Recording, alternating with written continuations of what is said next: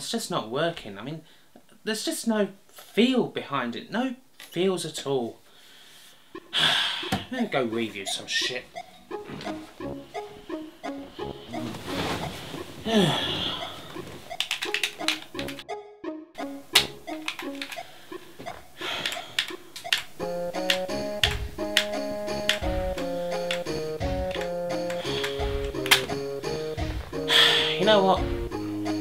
Think I might just go to sleep.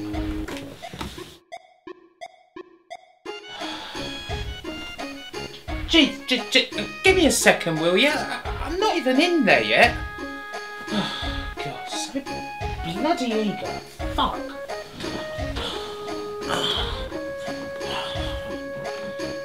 Right, now you can do it. so eager. Kin Oh,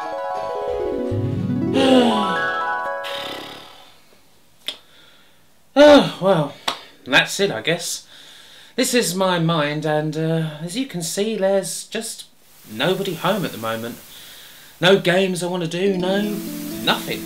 Just that's the end. Back to the docks for me, I guess. Games, yeah, humbug. Then just let me sleep already, yeah? Oh, Christ on a bike, Kimball. Stop being such a bloody faff ass. What the hell was that? I'm your ego, dude, and I'm here to jig you up a little. Because you're clearly in a very moody, very whiny place right now. And I, as your ego, your own personal fountain of positivity, can help you get through it. How can you be my ego? You're just me in a shitty wig. Oh yeah? Well, maybe my costume would be better if you got the wallet out every once in a while. Look, what else, what else? Is all of this really necessary? Because, you know, I've kind of got this appointment with sheep jumping over a fence. I'd kind of like to get to it, you know? Please? Look, this could be a hell of a lot more awkward, mate. I mean, you were scheduled to dream about me rolling around in a bath full of honey last night, but it's been put back a week. Uh, uh, um, no, you're not my type. Sorry. Oh, well, tar very much. I mean, I didn't ask for this, you know. It's not like I'm doing this just to impress you or anything, but if that's the way you feel, then, well, I'll just go Alright, alright, alright, god damn it, alright, just shut up, shut up, shut up, shut up! Oh, God. Oh, look, I, I'm, I'm sure I can put this to one side for a moment. I mean, oh, God, it's like comets have invaded my dreams. Uh, uh, why don't we, um, why don't we just make some small talk for a little while? You want to chat for a while with you? Um, yeah. Okay, what about? maybe it'll work. I mean, well, you know, maybe, maybe you could help me because um, I'm having kind of a bit of trouble thinking up any ideas for the next video. So, I don't know. Maybe you've got some. Um, so, yeah. Um, uh, me. Um, what's your favourite musical game? Well, being a very smart student who went to smart school and that, while also being a bit of a muso myself, I like things that are smart as well as funky.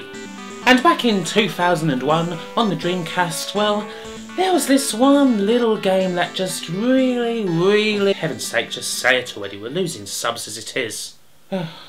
okay, okay. It's Wes. Wes! Excellent. There's a start. Whatever works, I guess. Res first came out on the Dreamcast in 2001, but we're going to be playing the Xbox 360's HD version here. Because, you know, it looks nice. And I'm cheap. Simply put, the game's a whale shooter. Hell, it's quite a sparse whale shooter. Not one of those insane Operation Wolf style doohickeys, but one where there's not all that much happening a lot of the time. That's the gameplay, pretty much.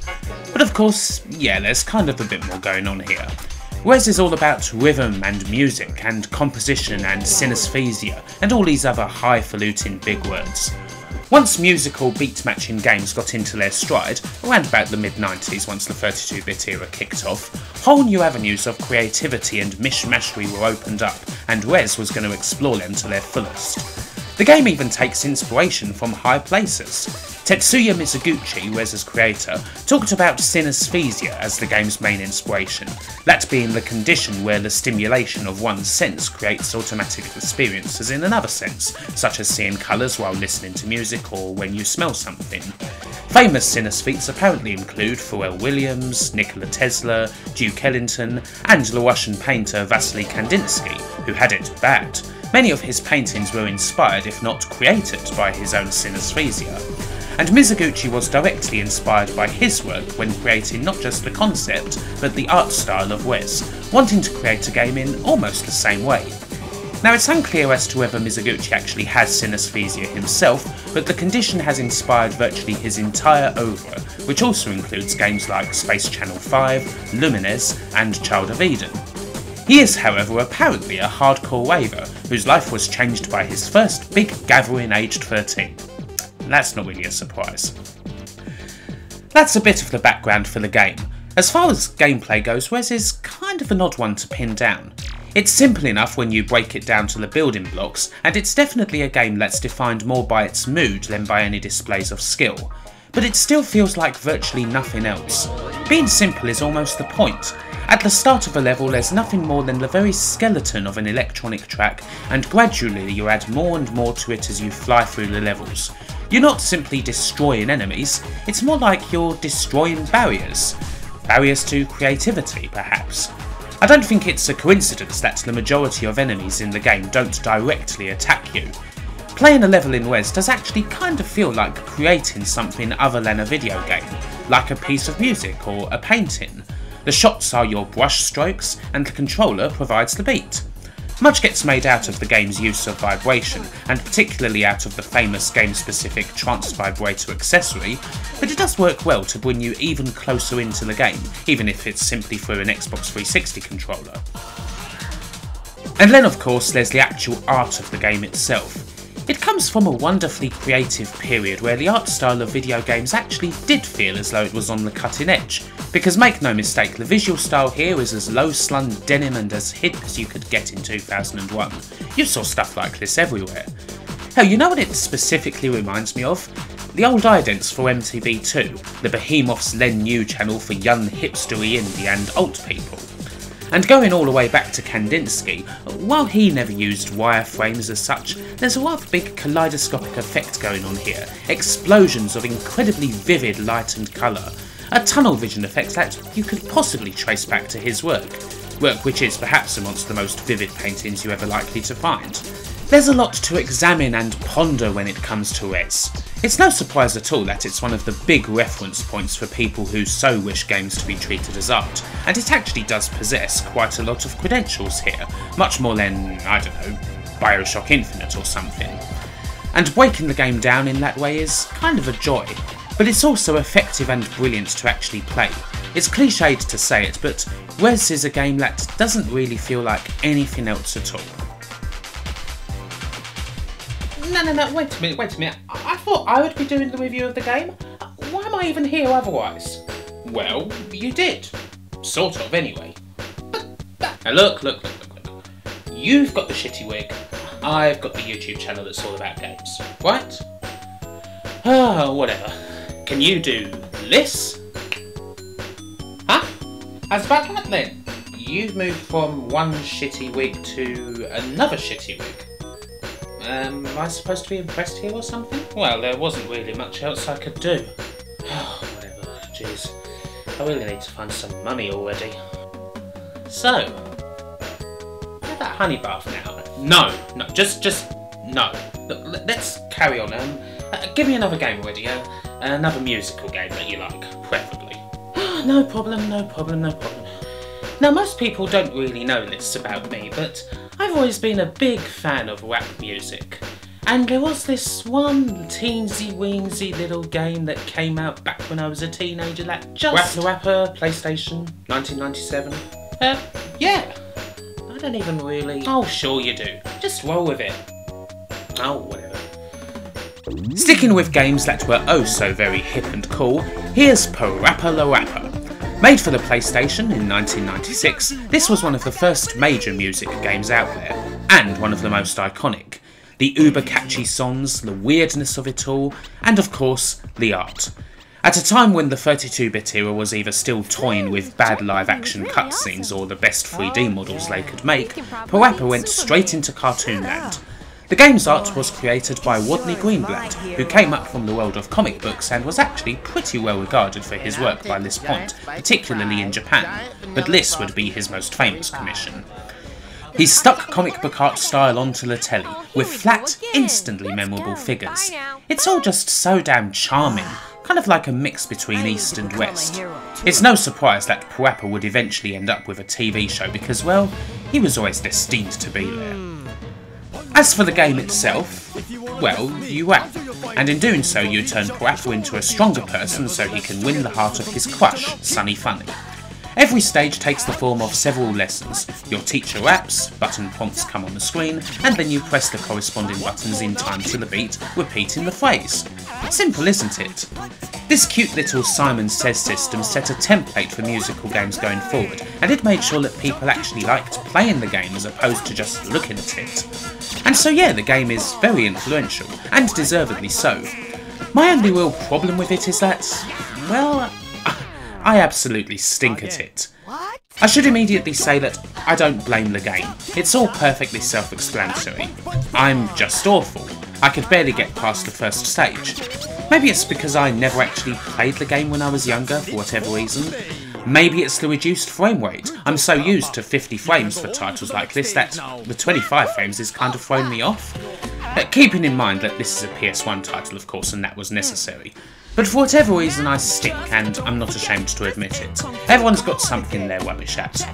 So, you know, maybe you shouldn't listen to me when it comes to this game. However, I did at least want to show it off and to finally try it out for myself. I mean, hell, I'm doing a video all about musical games, so the really has to be here, because without it, a lot of the games in the genre, well, they might not have ever existed. As for me, well, I'm just going to have to level up a little bit before I really get to appreciate it. What? Go! Break it down. Now kick, punch, it's all in the mind. If you want to test me, I'm sure you'll find the Finns our teacher is sure to be. Ah, that's much better. Oh, peace and quiet at last. you saw yet? Do you want to go back to normal? Okay. Phew. Look, don't worry, don't worry. It's, it's okay. Look, I know you're just being sensitive. Can we not, so, please? you know. can we not? Uh, just stop. I, I am not getting in a honey bath with me anytime soon. Oh, well, fine. I'm just going to sit here and pout then. Oh, what? You think I'm just going to let you hold the video hostage? well, that's not what's happening. No, so you, my friend, are changing it up. Yo, dude, what's the haps? Women don't do drugs and I'm a bugs for the hugs. Know what I'm saying? Um, no. This is jam hot, jam hot, hot jam. Stick it in a pram, comb my feathers, and I'm a bust that man. Psych. Ah, fuck's sake. Hey, Poindexter, don't be a chino. Yo, homie, sup? Just Oh, I already know what it's gonna be. Just get on with it. Okay, okay, okay. Got this, got this, got this. You down with the Mac Daddy? You down with the Marky Mark? You down with the C to the mother humping C? Then welcome to the game of the decade. Make my video? Make my video. So, in the dark days before Rapper came around, this is what music games generally looked like.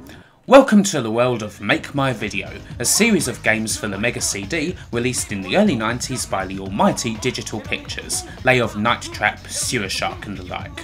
I have actually covered one of these before, but alas, it's lost to time. So let's revisit them. Oh, and not just one game either.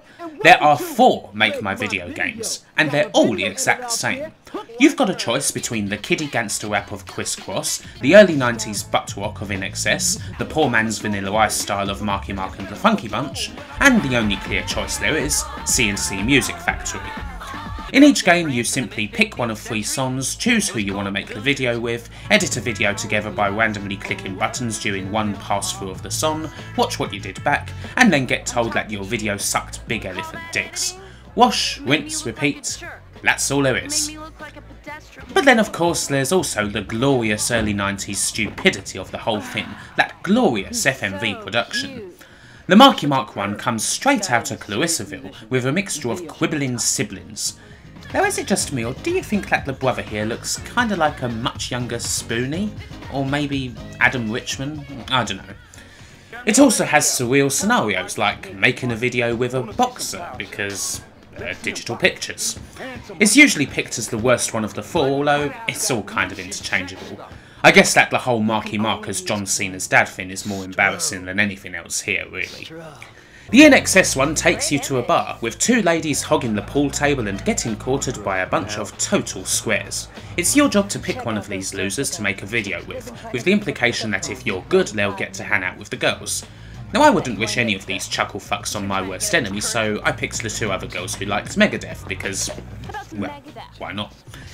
The CNC Music Factory one is obviously the best. All the songs are represented by different clubs, and the plot naturally takes place in a literal music video factory, where you've got to help out the overworked serfs by making a vid for them, saving them from the wrath of an evil Phil LaMarr. Yeah, that Phil LaMarr, most famous for being Marvin and getting shot in the face.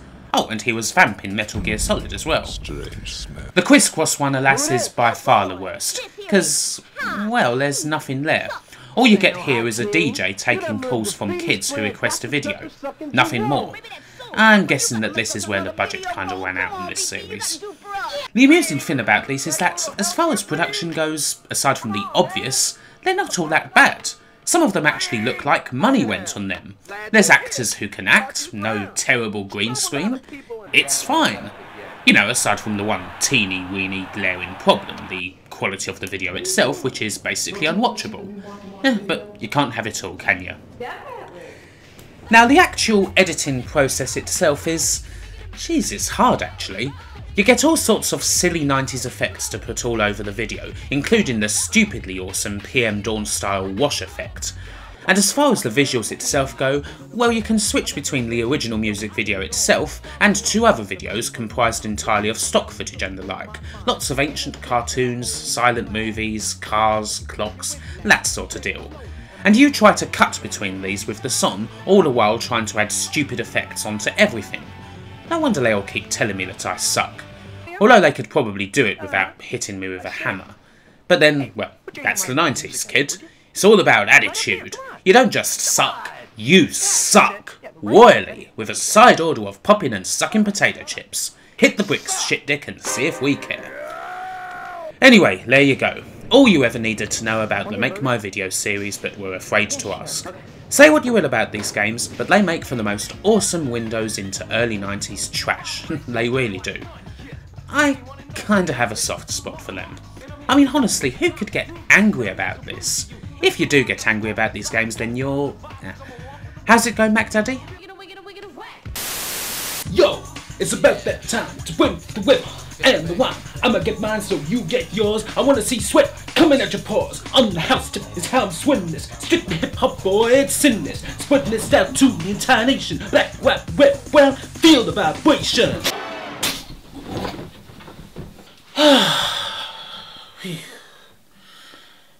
Well, I'm all alone now. Guess I'm the one who's got to choose the game. And you know what? For me, there's only one possible choice.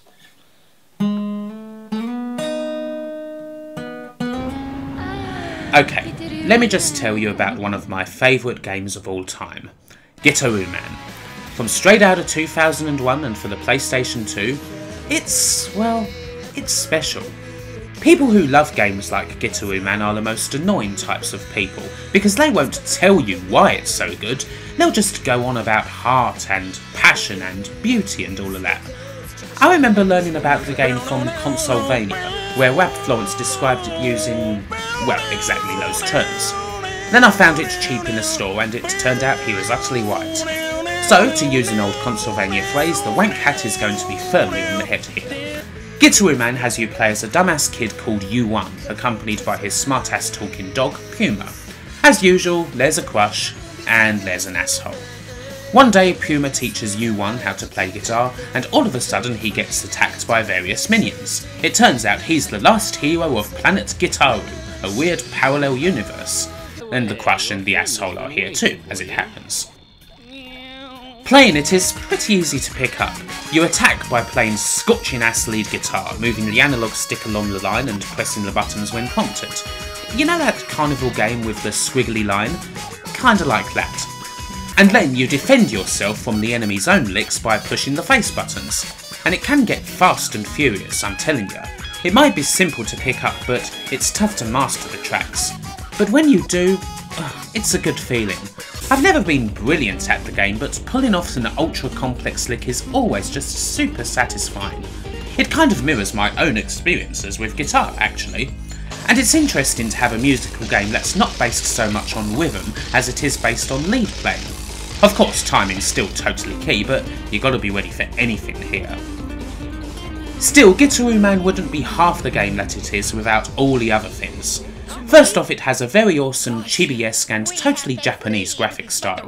The cutscenes and the in-game graphics are just great. Sure, the English voice acting is obnoxious as hell, but it's still just so charming looks-wise, so very crazy and expressive. This might not surprise you, but Innis, the team behind this game, would later make Osu Tatake Ouendan for the DS. So yeah, kooky looking and odd music games that are also brilliant is kinda their forte. So you've got plenty of good things riding together, but, well, what's the obvious thing that we haven't really mentioned? Ah, yeah, the music itself. Now it's interesting to see what we've had so far on that front. Wes had weapons grade electronica that's pretty nice and atmospheric, Parappa hits you with silly little novelty rap songs that kick you right in the nostalgia, and of course we had a bunch of early 90s hits that most people have forgotten. And then there's Gitaroo Man one of the greatest video game soundtracks ever. The brilliance of Gitaroo Man lies in the awesome emulation of lead guitar, that feeling of just soaring over the music. And this is what you're playing. The soundtrack is varied to hell. You've got flat out rock, a bit of J-pop, some funk, a truly awesome dub skank, some Latin, flamenco, and some major degree prog metal. Not a single bad song amongst them, Although for most people who've played the game, there's probably one track that stands out over them all. You know someone's played this game when they mention the legendary theme and they just need to take a quick moment. Whether it's a pretty little acoustic ditty played at a campfire or the glorious electric version from Gitaroo Arena, yeah, that's a pretty awesome guitar song. One of the best, in fact. It's moments like this that just make the game, that end up sticking right there, Gitaroo Man gives you that heroic feeling all the way through. It doesn't stop, and the only bad point of the whole game is when it ends. It's made with so much freaking love, it's hard not to just get swept away. And then guess what? You become one of those hippies I was just talking about, harping on about passion and the like. Yeah, that's me. And guess what? I don't care.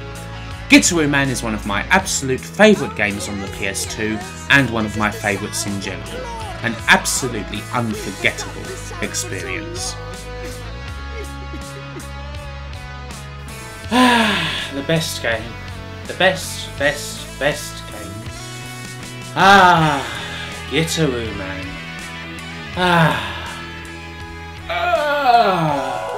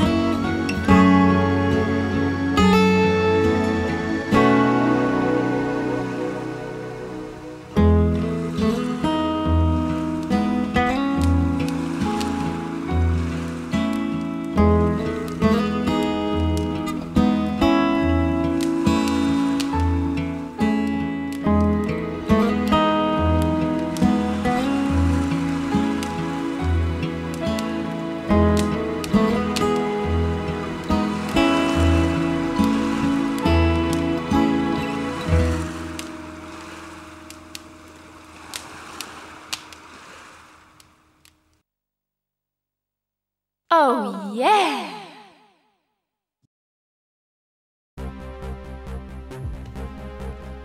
Thanks for watching my video. If you really, really liked it, maybe you could consider pressing the thumbs up icon that's just to the left here. Or maybe you could subscribe to the channel, if you so desire. If you're really, really crazy, maybe you could also follow me on Twitter, or even support me on Patreon. Eh, you know, all the usual stuff. Someone's got to pay the bills. As always, wherever you are, whoever you be, have a good one, take care, and I'll see you next time. Bye bye.